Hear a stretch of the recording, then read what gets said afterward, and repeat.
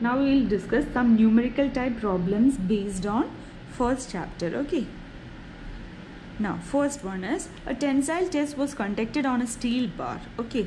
The gauge length of the bar was 10 centimeter so our length is 10 centimeter. We have already discussed about gauge lengths in our sections. Uh, now and the extension was 2 mm so delta l the extension in that length 10 centimeter is 2 mm okay so that is 0.2 centimeter. What will be the percentage elongation? Percentage elongation means what? Delta l by l into 100 that is our percentage elongation. So 0.2 by 10 into 100 so what is the value? 0.2 into 100 means 20 20 by 10 means 2 so d option 2 is our correct answer. Okay. Uh, we just have to be clear about the units here. Okay. See this is centimeter this is in millimeter. Whenever we see there's a unit change first change a unit and then do the problem. Okay make it the same unit and then do the problem only that is the complicancy in this case okay now the second question a rigid beam abcd is hinged at d see it is hinged at point d okay and supported by two springs a and b uh, sorry uh, supported by two springs at A and B. At A and B point, this is given two springs. Okay, it is supported on two springs. The beam carries a vertical load P at C. The stiffness of spring at A is 2K and that at B is K. Ratio of forces in A to that of B is so what we have to find in this options are given like this okay? So forces means p of a by p of b is what we have to find out okay? So stiffness is given. So we already know that stiffness means p by delta. That is load per acting per unit deformation so what is p? That is k delta. So pva by pb means what? Ka delta a by kb delta b. Okay. See now this is our free body diagram. See this is our point d. This is at a hinge this is a hinge point. So about this hinge point because of this load p this whole bar will rotate this is a rigid bar so it cannot deform on its own in sections. So it will def, uh, deflect or it will rotate on its own. Okay so this is our a point this is our b point this is our c point this is our d point. Okay so in the a point we have a force. Because of this uh, spring there will be a force developed. Or reaction to this P developed as PA and in this point B we have PB as reaction to this force P. Okay and the deformation or the change uh, in levels. See here that will be delta A at A point and at B point that will be delta B. Okay so from this we can develop a compatibility equation or delta equation.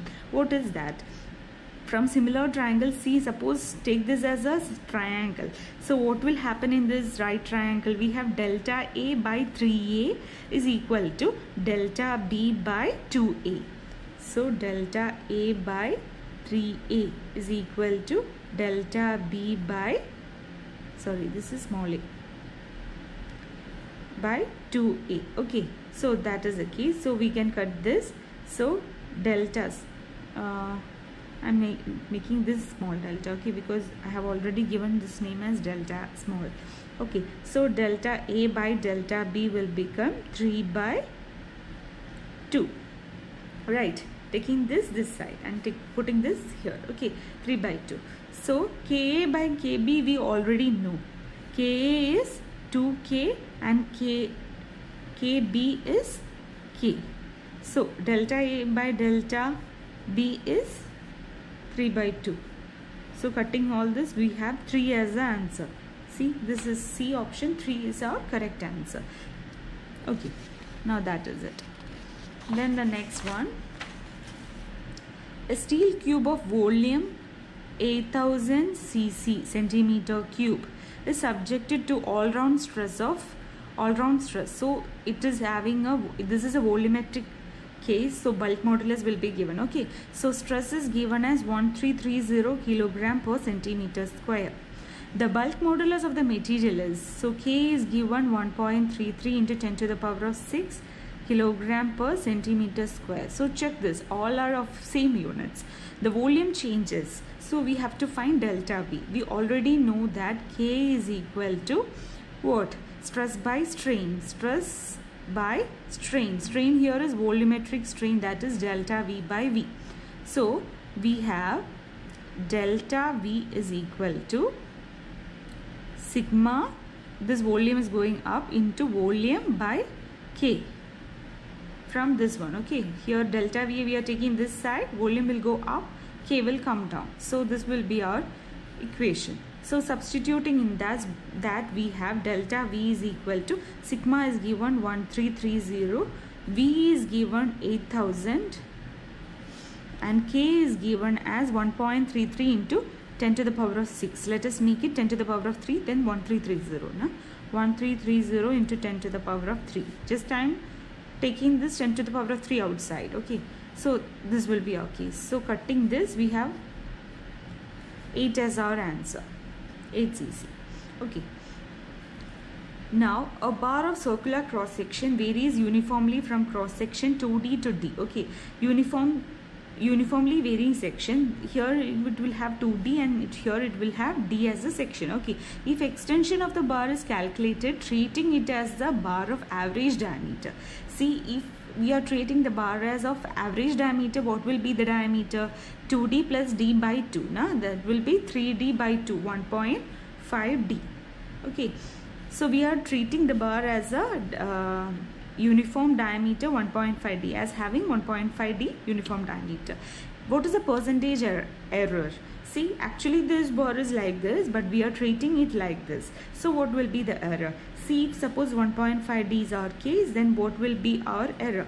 PL by AE is our general equation for 1 point let us take one PL by E outside okay we are concerned about area only. So here it will be like 1 by pi by 4 d square. D square is 1.5 d whole square so 2.25 d square. This will be our case. See here we already know this equation pl by e here also. So pl by e outside a instead of a we know that we have to put pi by 4 d1 d2 so pi by 4 d1 d2 means what? 2d into d.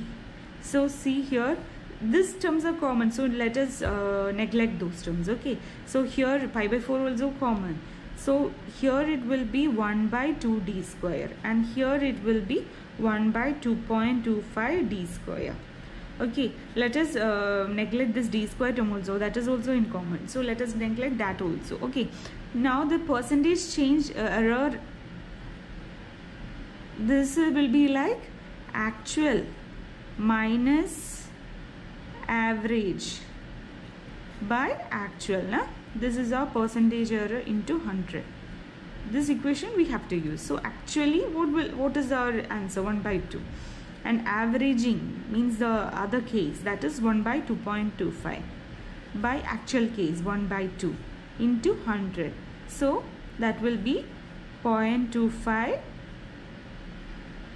0.25 by into 2 by 2 into 2.25 into 100 so neglecting this see 25 by 225 that will be what? 1 by 9 so 1 by 9 into 100 that will be 11.11 percentage.